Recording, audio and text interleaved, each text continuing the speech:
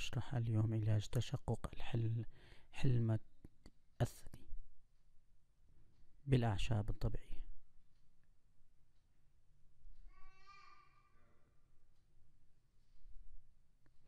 أولا يعمل كمادات من عصير أخضان.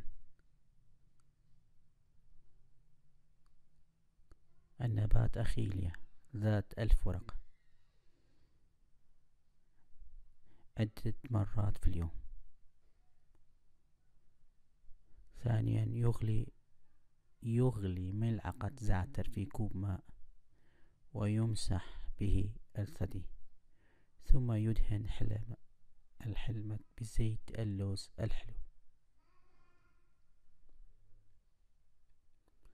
ثالثا يعمل لبغة للحلمة من أوراق نعناع ولباب الخبز الأبيض وقليل من الخل وتوضع على موضع الالتهاب.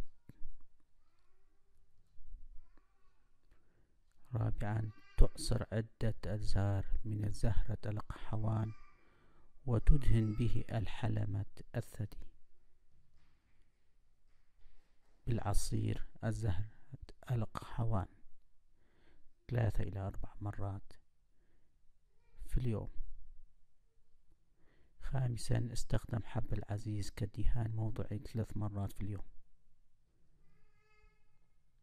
سادسا مرهم أزيريون الحدائق لمعالجة تشققات الثدي.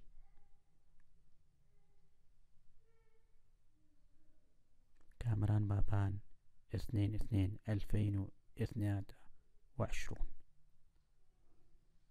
وشكرا.